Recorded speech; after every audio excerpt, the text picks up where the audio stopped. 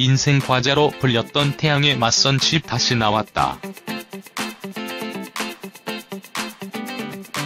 온라인 커뮤니티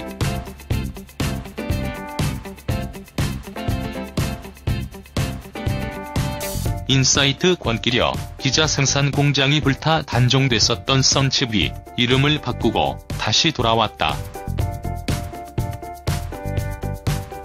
최근 오리온 측은 썬칩을 태양의 맞선이라는 이름으로 바꾸고 2년 만에 재출시했다고 밝혔다. 태양의 맞선은 본래 맛과 식감 그대로 재현해냈다.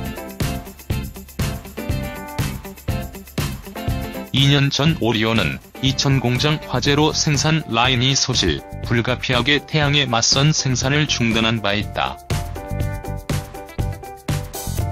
사진 제공 오리온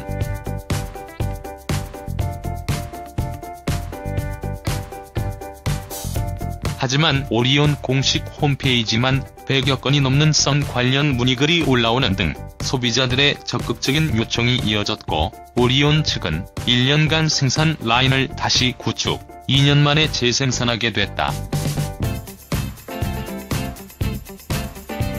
오리온 관계자는 소비자들의 적극적인 재출시 요청을 반영해 썬만에 모방할 수 없는 맛을 재현하는 데 성공했다며 기존 소비자들의 향수를 불러일으키는 동시에 스낵의 주소비층인 젊은 세대까지 아우르며 큰 호응을 얻을 수 있을 것으로 본다고 말했다.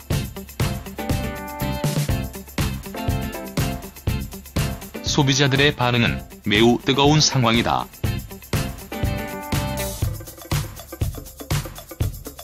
편의점, 마트 등에서 태양의 맞선을 접한 소비자들은 인생 과자가 돌아왔다, 대체 불가 과자, 너무 좋다 등 긍정적인 반응을 보였다. 유튜브 라그윤